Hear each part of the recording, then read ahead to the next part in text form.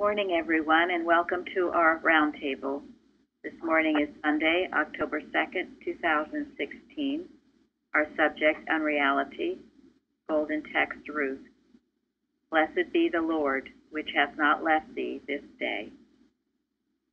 I'm going to begin today. Um, Florence wanted to speak a little bit about the forum highlights, so go ahead, Florence.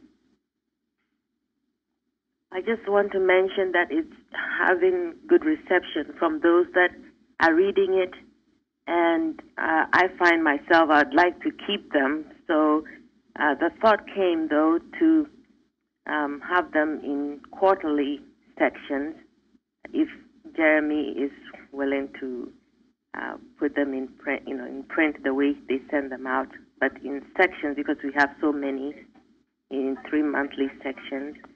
And if people are interested in it, they could buy it for gifts for Christmas. I am, and it's, it's something that I thought others might be interested in because I do get quite a bit of feedback as to how much the content helps the practical practice of Christian science. So if anyone is interested, they could email me or email Jeremy, and we'll have an idea of, you know, what extent the interest is. As far as pricing, it could be just, you know, for the mailing of it. Um, that's what has come so far. So let us know. Thank you very much. Yeah, good idea. A bound volume of forum highlights. Yeah, and it wouldn't, it was just for the mailing or, you know, our, our immediate expenses.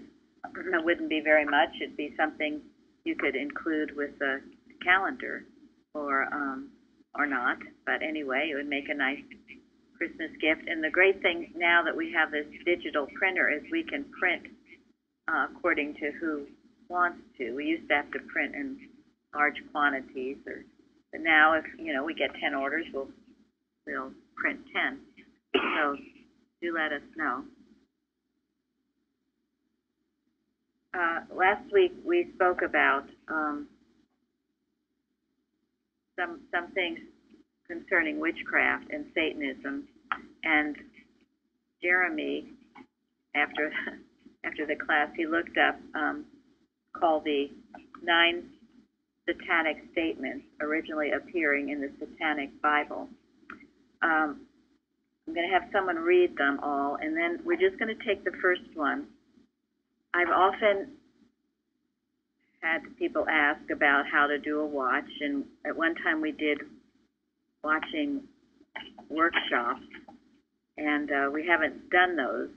So this is going to just be an opportunity. We're going to take a statement from the Satanic Bible and do a watch on it, how you would how you would handle the belief. And um, I will have Jeremy, you read all nine of them. Okay. See. The first one is Satan represents indulgence instead of abstinence. Number two, Satan represents vital existence instead of spiritual pipe dreams. Three, Satan represents undefiled wisdom instead of hypocritical self-deceit. Four, Satan represents kindness to those who deserve it instead of love wasted on ingrates. Five, Satan represents vengeance instead of turning the other cheek. Six, Satan represents responsibility to the responsible instead of concern for psychic vampires. 7. Satan represents man as just another animal, sometimes better, more often worse than those that walk on all fours, who, because of, quote, his divine spiritual and intellectual development, unquote, has become the most vicious animal of all. And eight, Satan represents all of the so-called sins, as they lead to physical, mental, or emotional gratification. And then nine, Satan has been the best friend the church has ever had, as he has kept it in business all these years. So, the reason we're discussing this is it, these are it's it's mortal mind, um, and it's out there, and it needs to be dealt with. So, uh, a few of you have seen this before the class, and and perhaps Jeremy might put the list up on uh, on our watch section so people can see it and be handling it as in personal animal magnetism. But I would just like some thoughts about how you would do a watch on that or handle the first one and read the first one again, Jeremy. Satan represents indulgence instead of abstinence.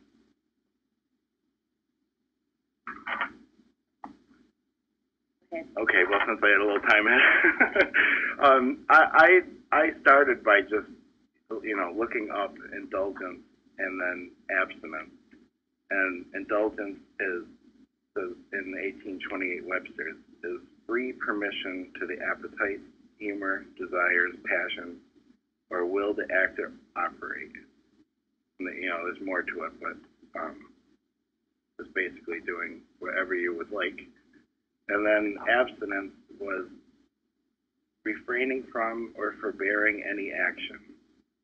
And so when I when I read that, I thought since it says Satan represents, that means that he's these things are like the image and likeness of him. You know, the, the indulgence, indulging in the the works of the flesh, and so I, I a lot of times I go back to that Galatians five, nineteen to twenty one, where it talks about all the different things, the adultery, fornication, uncleanness, all, all the things that represent the works of the flesh, and then uh, then how it goes into the Fruits of the Spirit. of the spirit.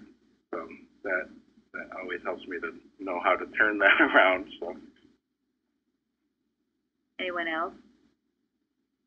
You know, the way this thing is stated, indulgence instead of ab- abstinence, it's almost put forth as if indulgence were more appealing or desirable. Exactly. The only desire and satisfaction is in following God. My study said somewhere, a feast of soul and a famine of sin. To starve out this personal selfish inclination. Never satisfies. It always ends in destruction. I think if we're the most intelligent animal on the face of the earth, we might learn this sometime and follow that which is good, because it's really the only way. Thank you. Thank you both. And it really all gets back to the belief that my life, my intelligence, and my substance is material, right? So I need to pander to the material senses. I need to indulge what the material senses tell me they want, which is really just mortal mind.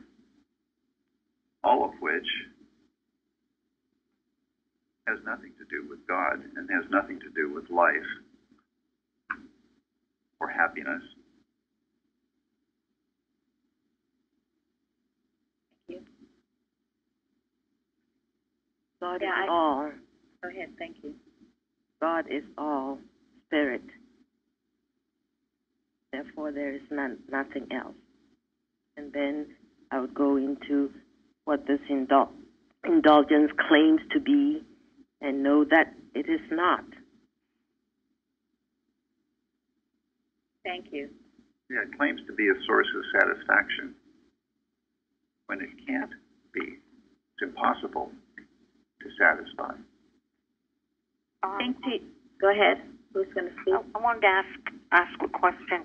Wasn't there um, something that Mrs. Evans gave us at one time? Uh, my mind cannot drift into evil, or something like that. That's from um, Yes. that's from Mrs. Eddy. Yes, it's in prose work. Right, but she but she had you know given it to us in a class once to use, and I thought it was very good, but I can't remember the exact. What was the phrase? I don't know the exact. God is mine. I think you told Wait, me. not, Sharon, Sharon knows it. my mind is divine good and cannot drift into evil. Okay, that would be maybe a good one to use for a watch on that subject. Hello, I have, um, Stayed on God. Who's speaking? Sorry. it was Shorty. I, I've been working with this since Jeremy, um, gave us the list. And I start like many of you do, and then don't be afraid. Christians abstain from indulgence of any sort. We restrain ourselves from decadence, excess, and self-glory. Spirit cannot indulge in sense, and we are spirit. Did you write that yourself, or is that a quote? I wrote that Okay, from good, everything I read. good, thank you. Think about it. Think about it for yourself, because what Bruce said is true. All of these arguments are trying to get you to think that, I mean, abstinence sounds sort of horrible, you know. You know, to abstaining from something, you're kind of forcing yourself not to do something you really want to do. so, but think about it. Think about when you've indulged yourself. What has happened? Give an example. Well, food, and then you're uncomfortable. Yes, great. All you can eat. All you can eat. So Indulge load in it. up. And you wake up the next morning thinking, what did I do? well, yes. Anybody else indulging in something?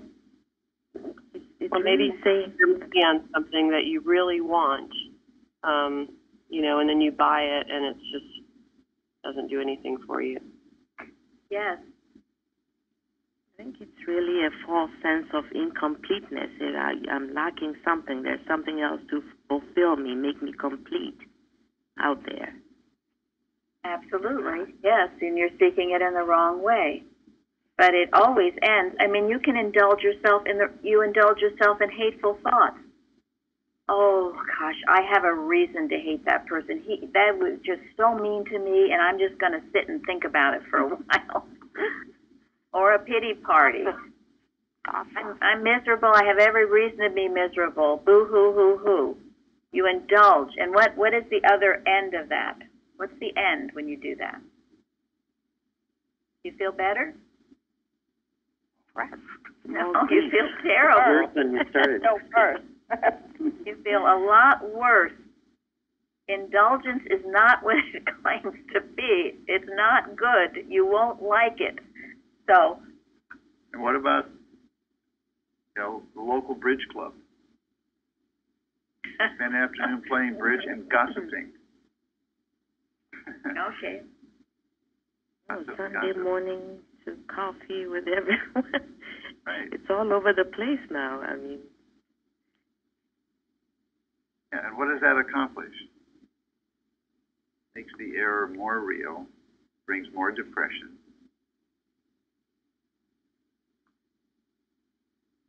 it's a false sense of pleasure, really. Yeah. Well, and, and it's not just the the uh, the afternoon teas in the clubs. I mean, you know, how many church foyers are filled with gossip? Something Mrs. E- Mrs. Evans absolutely forbade. She annihilated it. Yeah. she did in this church. Well, I know I told my daughter when she was getting a job that you got to watch out for the people that gather around and, and talk badly about other people because in 15 years they're still going to be there doing it, and you don't want to be there with them. You got to keep going. So. Thank you. Yeah. Usually, any after any indulgence, you feel really awful. Okay, it might it might try to lure you into it, but you're going to feel really terrible. So, a watch to handle it, and and this was the way Mrs. Evans gave us this watch, and I I think it's a wonderful way to impersonalize it by starting first, as Florence did. You start with the allness of God. Um, always you start with the allness of God. All is spirit. There is no other attraction. There is no, no other law, cause, uh, and substance. It's the only, the one and only God, omnipotence, omnipresence, omniscience. Then she would say animal magnetism calling itself, animal magnetism calling itself indulgence and then and then you annihilate it and you annihilate it by stripping it of its power by knowing it has no power because God is all power To me, all I have to do is have a flash of how I feel after I've indulged, and I don't, you know, that's I don't want to go there. But if you're if you're tempted in that way, or we're handling it worldwide, well, no, it, it has no attraction. It has it has no law, cause, substance. It has no foundation because it is not of God. And then, after annihilating the belief of it, then what do you do? Put in that what it is cannot be reversed. That this treatment cannot be reversed. No, before that, You you replace it with what is true. yes. You you end end again with the all power of God. The only attraction, He's all He gives. He's what gives you um, satisfaction, contentment, joy. Nothing else does. And you know the Bible talks about all things in moderation, right? And that that's a good good little piece of advice from the Bible. so, and and you work on it in that way, and then you end it with what Fairley said that this treatment cannot be reversed. But in your in your heart, in your mind, it has no further power over you. The suggestion of indulgence has no power over you, and you know it has no power over anyone anywhere. This is this is what a watch comp- is comprised of, and it's powerful. And this is what your watches should be. And as we've talked about, what we give you on our Unity watches three times a week is is a springboard, um, some ideas, some suggestions. But then you take it and make it yours, and you work with it. Now, I've had someone who every few weeks calls me and tells me that they don't feel worthy. So, what does that show? Identifying yourself correctly. Right? And, and what, Also shows they've been listening to that voice that's being fed to her, and she's not putting up her defenses. they haven't annihilated the suggestion. You get the suggestion, you feel unworthy. What do you do with it? Is it true? No, God didn't say it. Thank you. How could God's image God. and likeness ever be unworthy? If, So, so if you're thinking that, truth, you're malpracticing against God. yes, you are. It goes back to what Janet said yesterday. Your love for God has to be so so much greater than your love for yourself. You're just it's total selfish to be thinking that. You are you are it's almost like blasphemy because you are God's image, so you're saying God's image isn't worthy. You you strip it of any power at all. And then that thought will not come back to you it, because there'll be no entrance. It can't reach you anymore. The door is slammed on it, shut. You're not listening, not listening, okay?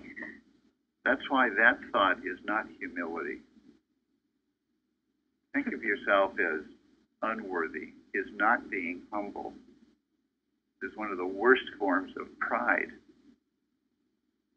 It's wicked because it's a lie about God's creation. It's a lie about God. It's an offense to God to think that of yourself. Mrs. Eddy has, I don't know where it's from, where she says to claim your infinite, harmonious, Christ expressing selfhood, your beauty, your moral beauty, and then she mentions the words worth and value. And I find claiming that for myself every day is very helpful, knowing my worth and my value. Thank you. You're all of great worth to God, every one of you. Goodness, the fact that you're here, the fact that you want to learn more of God, He's got something wonderful for your life. And if error tells you you're not worthy, you need to kick it the you know what out. Once and for all and annihilated.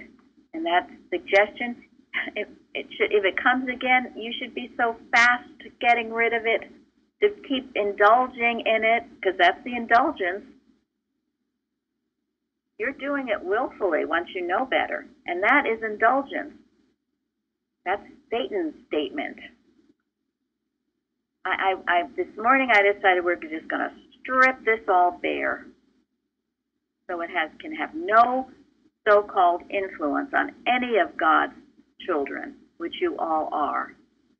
And that's just one suggestion. I know you all probably have a whole list of suggestions you can get, or you think you hear.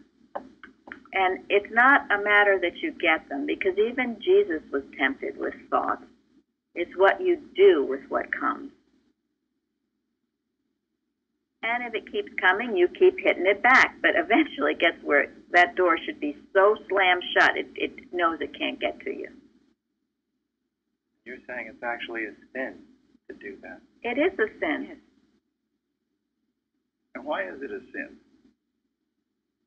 You dishonor God, for goodness sake. I mean, you're saying God is something that you're not. I mean, Yeah, it's, when it's, when I That didn't make chunk.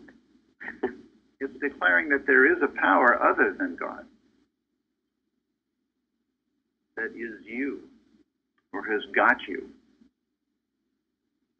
And then you are truly you're believing in in Satan's principles. I won't call them principles. Satan's statements. You've gone to the dark side. The other thing that goes along with this, we all have thoughts come to us. It does happen. But then if we feel bad, ashamed, or guilty because it's come, that is another sin. Because the appropriate response is to rise. Rise in moral character that refuses, it, knocks it out. We talked about killing the enemy yesterday. The enemy is the wrong thoughts. They're not other people. Therefore, there's nothing personal about this, so you shouldn't have any qualms about killing it, killing this enemy. There you go. That's it. Have a, the sword in one hand and a tool in the other. You keep that sword raised. We have to. We have to be fighters for Christ. Now, Wow. the um, enemy, these thoughts don't come to you with a sword in their hand. How do they come to you? They come like your own thoughts. Yeah, they tailor come, made. Tailor made, yes. yeah, Yep. they, they come dressed up like something really attractive. They want to entice you. The It's serpent. malicious mind. Right, right. Like the, the, the apple on the apple tree. Look good for food. Tasty. That's how these that's how these thoughts are going to come to you. Bruce? I'm here. Oh, hi, and everybody. It's Betty. I wanted to just observe that much of advertising or for products is based on, on this idea or, or notion of being indulgent. And uh, it's evident at the grocery store, newsstand counter, and so forth, which, which um, you know, I, I, I try to avoid, but I can tell there's some sort of attractive tendency in that, which is just something that is animal magnetism or something that the people who create that stuff, you know, are playing with to try to get people to attr be attracted to it. But um, just just observing that a lot of advertising is based on indulgence. Thank you.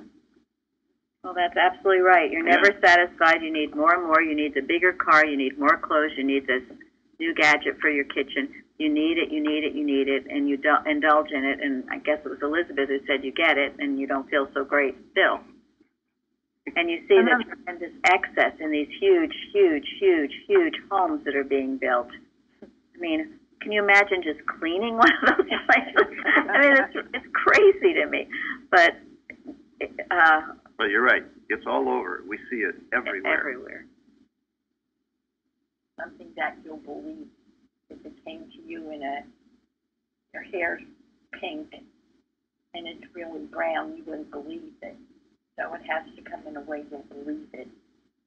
Right, and it, it takes you when you're off guard, not working for God, when you're a little bit dreamy, when you know you're just kind of floating around, and those those thoughts are, are flying around there, but Mrs. Eddy says if truth and virtue build a strong defense, they can't go around like wandering pollen. That's a paraphrase of science and health. You have to have the virtue and truth there, and you'll know know it, and you'll cast it out. So, all of this is intertwined in uh, doing a good watch. And also, this person who keeps bringing up how unworthy she is, she's a very loving person. Okay, not that she's not loving, but until you annihilate those suggestions, you can just try to be so nice and loving and nice and loving and nice and loving, and you still get the suggestions. You got to get rid of them. If you are like the Christ who can just be it and love it, or like Mrs. Eddy and, and can have that tremendous pouring of love that annihilates error everywhere, and as you grow, you get more and more that way. Um, well, that's great. That's that's that's the standpoint in which we all should be. But most of us need some arguing, and we need to annihilate the suggestion. In the meantime, for most of us, there's still work, There's work. and sometimes a lot of work to be done. And when you do that and you annihilate, you shut the door to the error, then it makes a pathway for the light to come shining through. And the divine love, not the human love that never satisfies you or anybody else, but the divine love that does satisfy and heals. Any questions on this before we go into science and health? I wanted to uh, just say that I really appreciate you doing this once again because Mrs. Eddy said, I believe, it's repeating and defeating, repeating and defeating. And uh, it's taken me hearing this 40 times to start to make progress on it, but I am so happy to say that uh, just thinking about this the other day, looking back where I was one year ago, where I am today, not perfect, but uh, those days I would go the whole day malpracticing on everything in sight. Today, at least I'm starting to catch it earlier and uh, defeating it, and uh, so I guess I, I'm saying I totally appreciate you doing this one more time because I know I need it. Thank you, Mike. And it is why we do it. Because some, some people have been here a long time and still have a difficulty with it. It is repeating and defeating and repeating and defeating. And Lord knows all our training was repeating and defeating over years. So much patience with everyone else because it, it does require, like anything else, practice. You've got to do it. You can't think about doing it. You can't read about doing it. You have got to do it. And also, your practitioner can't do it for you. You can pray and help, but you, I used to wish, Mrs. Evans, couldn't you please stop these thoughts from coming into my head? Guess what? You couldn't. You you are your thinking, so Yes, you are. I had to do it. I just wanted to make a comment about worth. When you do constantly hold steadfastly to the truth that Mrs. Eddy tells us to do, then you see the worth which is unfolded to you, which you always had. It never was not. It always was and will be. And it's just the false suggestion that you're not worthy that keeps that un- unfoldment from coming through. So, like you said, once you defeat it, you see it. But it's not something that you make, it's something you've always had. Exactly right. Thank you. No, that's the a truth wonderful, about you. Yes. great point. Because with God, with God, all things are possible. Without God, you aren't worth two cents. okay. Yeah, you can't do this. This is not a human thing. It's not a human. It's not a human thing. It's, it isn't. Rising in the strength of spirit. It is. It is God working in your life. Because truly, as a human being, you're right. You'll never be worthy. We're all just, you know, not worth much. But as God's child, we are worth everything. And when you get those thoughts too, it, it doesn't just come. Usually, it's because you've drifted off in some other thoughts. You've been indulging in some a lot of negativity or error, and it accumulates. So, be so instant in truth. Error is always too late, as Mrs. Eddy says. Catch it when it's little. Shut the door before it's got you, you know, lying in bed crying your eyes out. I think that's why I, one of the earlier workers stated that Mrs. Eddy wanted more than ever that people always, throughout the day, maintain that thought about God is my mind. And that is a protection, really. It helps you to see quickly what's trying to invade your thought. Thank God you. is my mind to say it as often as possible throughout the day. I know it's helped me. Yes. Why we start our day with it, and you, it, it, it does. It closes the door on it. You get more sensitive to the wrong thoughts. Because for a while, I mean, I know with me, all these wrong thoughts was just part of what I was. I was just so used to thinking them, I didn't think they were wrong thoughts. But as you grow, you begin to be aware of it, and as you grow, it's declaring your mind. But quote that again from. My mind is divine good and cannot drift into evil. Thank you. That's Mrs. Eddy. Anyone else? Was, Thank you, Mike. I was reminded of an advertisement because you're worth it. Therefore, you know, indulge yourself in this or that thing. Right. Well, that's the human sense of it. Right. Yeah, exactly. But to some degree, I mean, you have to have a standard for yourself, knowing who and what you are. I mean, there is some truth to that. Um, you have a standard with God, so And the spiritual reality of that thought is because you are worth it, indulge yourself in the truth. Because the truth is readily available and the truth heals. And the truth gives you everything you could ever need or want, ever need. that's right. Think about it. Instead of indulging yourself in some pity party, just start indulging yourself in the truth. Just let all the truth pour into you. And if you're finding it hard, that's when you turn on your computer and listen to readings or hymns or something that just will feed you until you can get your own strength going. But fill your mind with the, the enduring, the good, and the true. And you will bring these into your experience proportionably to what? Your occupancy of your thought. Yes, yes, yes. You can't fudge that. You cannot get around it. You can't say you want to do it and not not be obedient to God, to your Father. You will suffer until you you stop the disobedience. And God isn't doing it to you. You are doing it to yourself.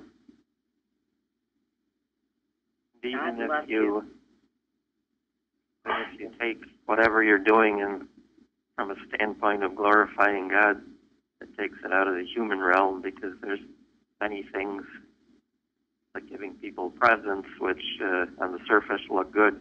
That's just an example.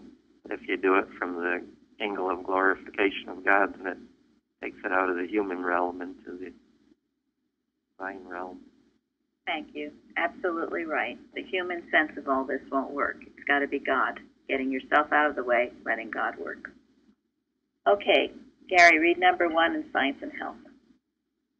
Nothing is lost, and all is won by a right estimate of what is real. Wow. Comments?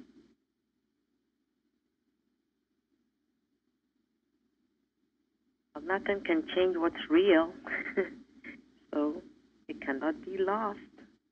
It might appear to be lost because of our own thinking, but it's never lost. Real is spiritual fact, unchanging. Yes. Yes, and the more I learn of what is real, the more I have. The only thing I need to change is my concept of what is real.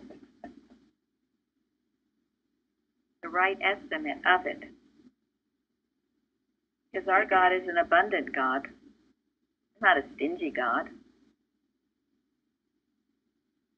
So, what is the right estimate of your health?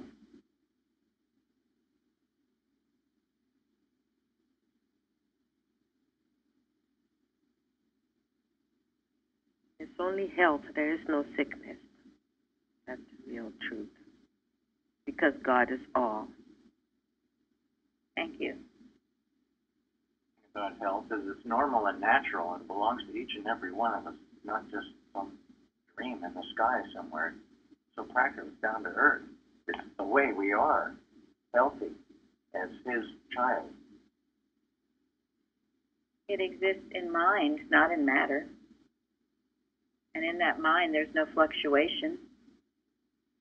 And every part about you, every part of your body, your organs, your, your faculties, all those exist in mind. And they're perfect in mind. That's the real estimate. False estimate is that we have these lumpy human bodies that give us trouble. No, that's, it exactly. When you have the right estimate of your health, it can't fluctuate. It's real. It's about the, what is the right estimate of your supply? Infinite. Right? Abundant. Infinite resources. Yes. Who else was that? Fairly? I said infinite. Infinite. Infinite. Yeah. It is infinite supply. God is all supply. Abundance. God supplies all our needs. Always. For for me, once in a while, I get this feeling like Know, just comes out of nowhere. I'm like, oh no, and then I just think, well, you know, right now at this moment, I have everything I need. There's food in the fridge, my computer works, you know, the car's good, it has gas in it. So, and then I realized it's so foolish that I even started worrying about it. So it's, it's helped a lot. So true. And uh, give us today our daily bread from the Lord's Prayer. That's why we say it every day. This is the truth. Have what you need right now, and you always will. But supply is is God, and you might see it coming as your job or uh, someone else's salary or whatever. But it you must put it back to God. That's why Jesus said, Think not for your life, what you shall eat, what you shall drink, what you shall put on. Yes, but what? What? I don't know if you have need of all these things. Yes, and then And therefore, And therefore, say it loudly, Bruce. Seek ye first the kingdom of God. and all things else shall be added unto you. and his righteousness, and all things shall be added unto you. That is what we do. And if we do that, God gives us our supply. But we have to forget all the worry and, and as, as Jeremy said, oh, what about tomorrow?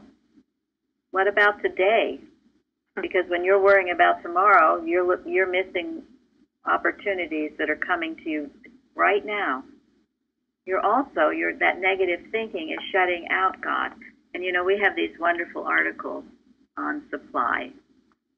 Martha Wilcox, Bicknell Young, finance, supply, all of those. And how did how did Jesus demonstrate the loaves and the fishes? That's the God we have. But do we even expect that? We were talking about indulgence earlier. The answer was to indulge in truth. You know what the nice thing about truth is? It never runs out. So please indulge in as much as you want. That's that's the buffet table where you take all you can have. The thing is, it opens up the door for the great source of all supply that there is. And he's the one who regulates by what forms and channels it comes to you, not us. So how nice it is to trust in truth and allow it to work in its own way. I love the word inexhaustible with supply. It it really helped me when that false sense was about to kill me. Inexhaustible supply. That's it. well, and that's really important because if you ever, if anybody's ever taken an economics course, one of the basic premises of economics is that there is a limited supply of everything. Supply and demand, right? So therefore, that's That's how prices are determined, and it also, the premise is there's a limited supply. Well, that's the wrong premise. Not the right estimate. And yet, that is how most of mankind thinks. Because they're, it- they're thinking their supply is in matter, Exactly. and that we're Could I, um, there. Yeah. Exactly. And Mrs. E- Mrs. Eddy, Jesus, many of the prophets, Mrs. Eddy, have blown that belief away. Could I make a comment about that, Betty here? About Okay. the origin of that economic thing or belief? It came about during the potato famine in Adam Smith in Ireland, and he wrote the book that he wrote. I guess it was The Wealth of Nations. I've not read it, but that's where he derived the notion that supply is limited, and it caught hold, and it's it's sort of multiplied. But there are other economic views coming to the fore now, which are less limiting, and and so we can watch for those. I heard someone recently talk about, you know, and this is in human terms, but about the infinite supply we have of our natural resources. Uh, it, it is. I mean, who who tells you there's not enough? Usually, people that want you to pay a lot of money for what they have to give. But there's all of these things. I mean, America, we've got a huge amount of natural resources, as certainly as much as we need. Now, again, the indulgence or, or wanting more than what is needed or being wasteful, now those are all sinful qualities. That's why we shouldn't waste. And also not being grateful for what we have. We take care of what we have. We're grateful for it. You don't waste it. Those are laws and principles of the universe. But God supplies our need abundantly. And yes, He is the source of all, and it's inexhaustible. Someone once explained it to me like a river that flows. God is the river flowing the supply to you. And then you take the supply, you use what you need of it, but then the requirement here, and this is another law of the inter- universe, is to give back. You have to give it back. Otherwise, the, what happens to the river? Pardon me? Right. up. Uh, Yeah, you it you block it from flowing. Block it from, from flowing to you. It'll stop. It'll dry up.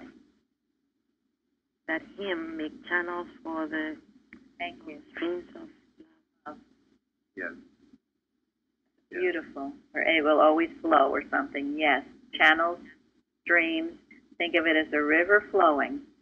So when you take the good from God and you just take it and sit on it and don't share it or give it to others, you're going to stop the flow. It is like hiding your light under a bushel, right? yes, Mhm. It is. But it, behind that is the belief that there is a limited amount of supply and you need to hoard it for yourself. Hoard it. Keep it.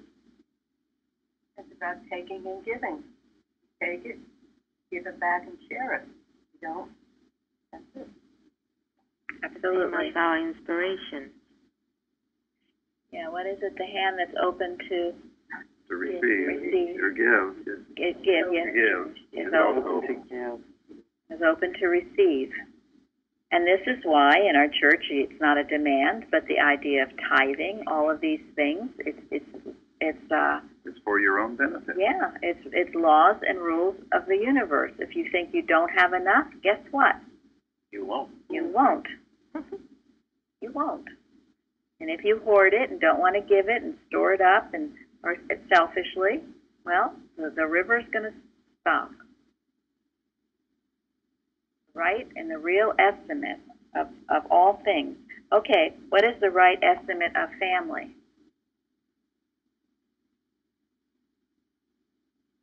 Each belong to God. Everyone belongs to God. The family of man. Thank you.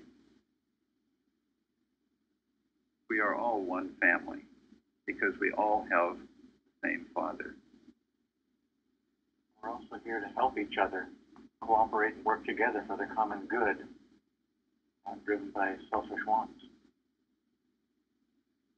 All of you here, you are part of this family of God. We are all brothers and sisters. Frankly, you won't ever have any better friends. Why? Because we're working for a common good, a common cause, and we love each other. And then we extend that to love all mankind.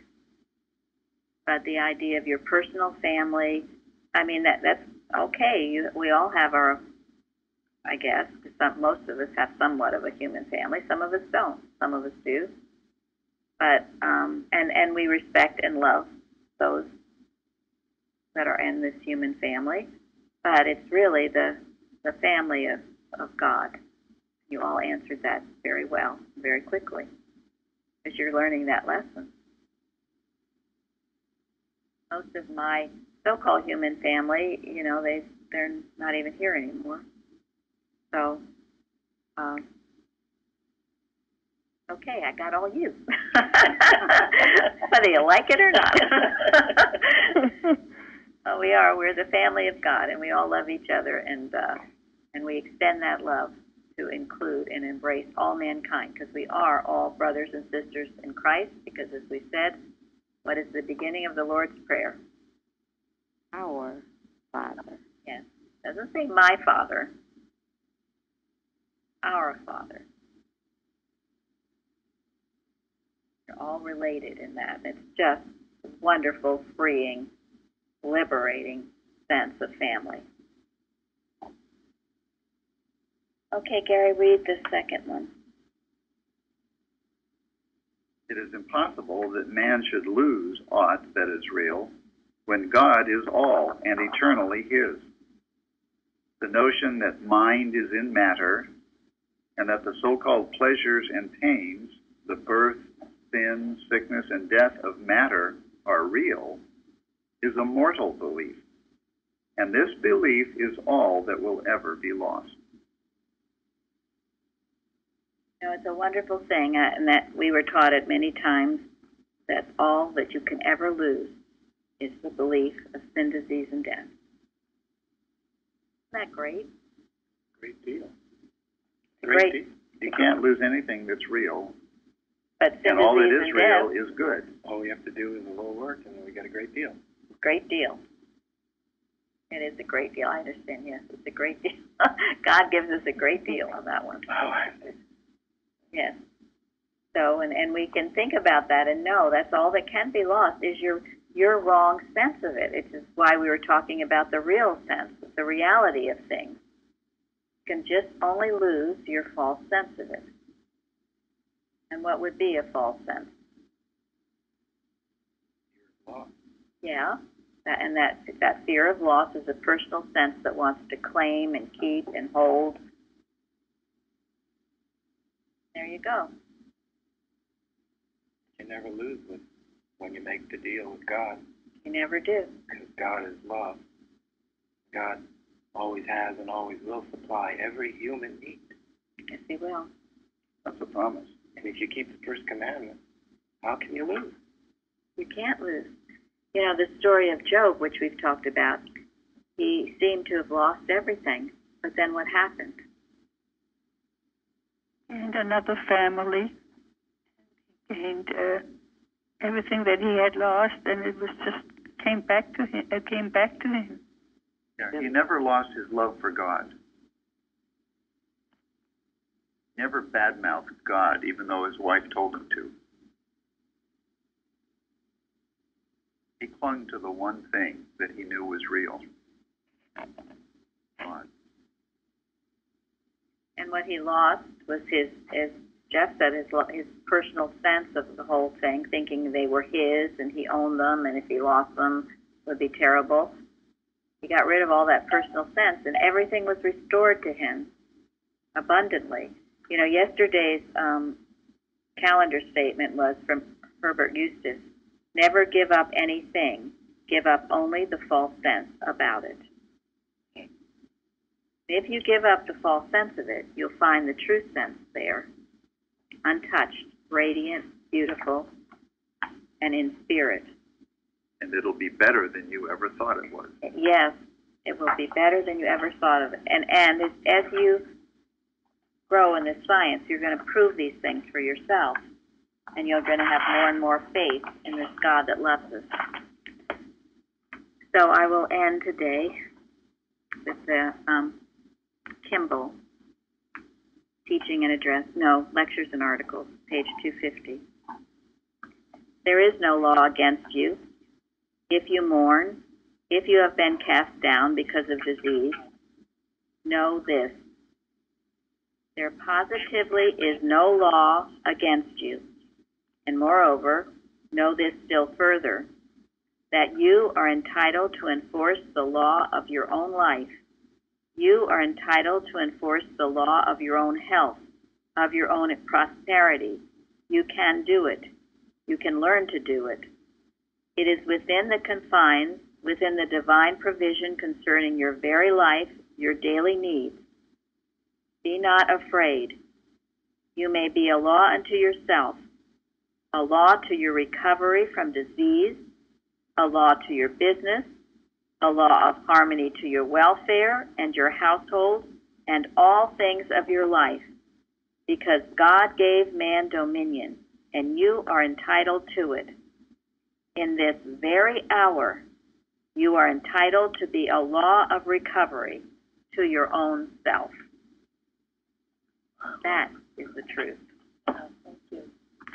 We will go on and in this very hour have a wonderful service. Thank you all for joining. Thank you. Thank you. Thank you.